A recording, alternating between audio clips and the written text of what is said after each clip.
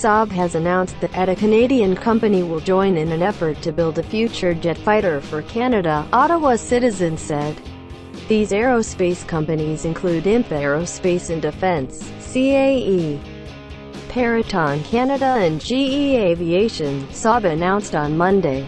Saab offers to supply up to 88 Gripen E warplanes, with support from the Swedish government, for future Canadian new fighter requirements. The warplanes will replace the existing CF-18 Hornet Royal Canadian Air Force fleet. Requests for Canadian proposals require companies to provide high-quality benefits and technology to the Canadian industry. IMP Aerospace and Defense will contribute with domestic production and service support for the survival of the Canadian Gripen fleet, whereas CAE will provide training and mission system solutions while Peraton Canada will provide maintenance of avionics components and test equipment, repairs and remodeling, and material management.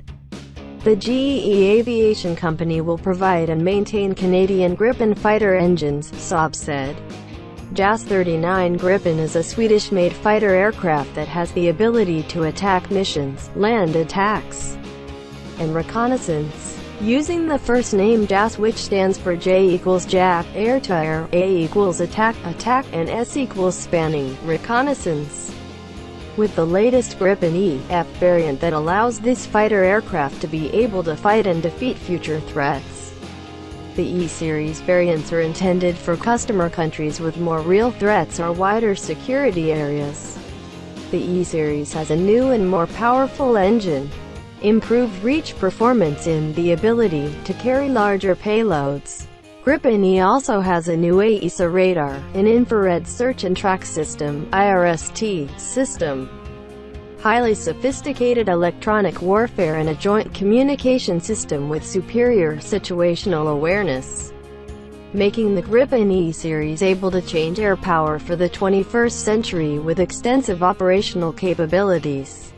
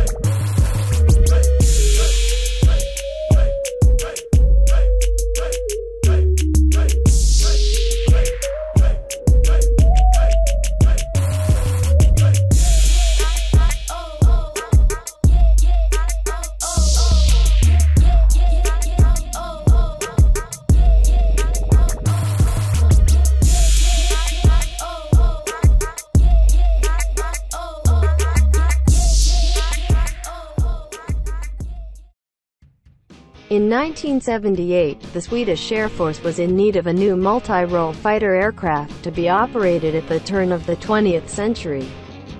The Swedish Air Force has also examined fighter aircraft made by other countries that already exist, namely the F-16 Fighting Falcon and F-18 Super Hornet. After the evaluation process, the Swedish parliament in June 1982 decided to carry out the JAS 39 Gripen development project until the final test was completed in December 1996.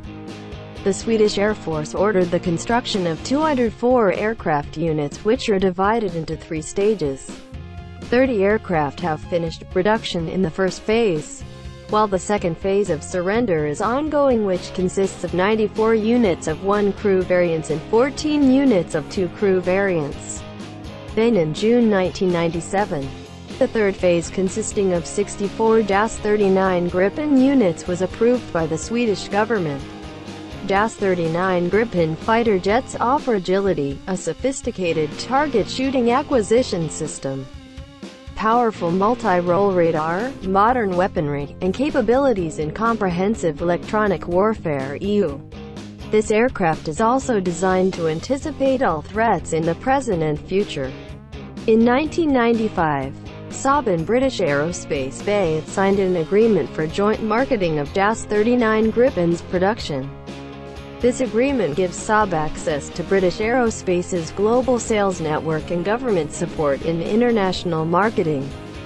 Furthermore, British Aerospace obtained the right to adapt the export version of JAS 39 Gripen using NATO standards. The binding agreement for more than 10 years between the two aerospace companies became the basis for the consolidation between Saab and British Aerospace. This also paved the way for Saab to deepen integration with the European aerospace industry. One important factor in the JAS 39 Gripen fighter jet export variant is the aircraft missile system. JAS 39 Gripen used by the Swedish Air Force is armed with a AMRAAM AIM-120 missiles, AIM-9 Sidewinder, Saab Dynamics RBS-15 anti-ship missiles, and Maverick surface attack missiles.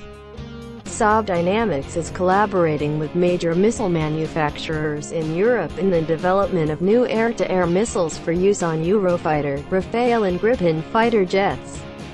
The two main projects undertaken are the development of the Meteor missile and the Iris-T. Meteors are medium-range air-to-air missiles, 10 to 12 kilometers, whose radar-guided firing. This missile could be a rival to Raytheon AIM-120 AMRAAM. The development of the Meteor missile feature was carried out by BAe Dynamics, Saab Dynamics, Alenia Difesa, Marconi and German LFK. While Iris-T is an air-to-air -air missile guided by infrared the main funding for its development costs has Germany. Other parties involved in developing Iris-T or Bodensee were Geratechnik and Saab Dynamics. In designing this aircraft Saab chose an unstable canard design. Canards provide high pitch rates and low resistance, allowing the aircraft to fly faster, farther and carry more load. The combination of the delta wing and canard gives Gripen better performance in terms of flying and taking off and landing characters. Avionics which is totally integrated makes this aircraft capable of being programmed. This aircraft also has an internal electronic warfare device making it capable of carrying maximum loads without compromising its electronic warfare capabilities. The desired ability to grip from the start was to be able to take off from the runway along the 800 meters. At the beginning of this project, all flights made from the Saab runway at Linköping used a reference to a 9 meters times 800 meters size square painted on the runway. The braking distance is also shortened by enlarging the air brake using the surface control to push the plane downward, making the brakes more powerful pressing down, and the next step is turning the canard forward, turning the canard into a large air brake to push the plane down even more. One interesting ability of Gripen is its ability to land on public roads, which is one of Sweden's defense strategies. Once landing, the aircraft can be refueled and armed again in 10 minutes by five ground crews operating from a truck, then Gripen flies back to carry out its mission.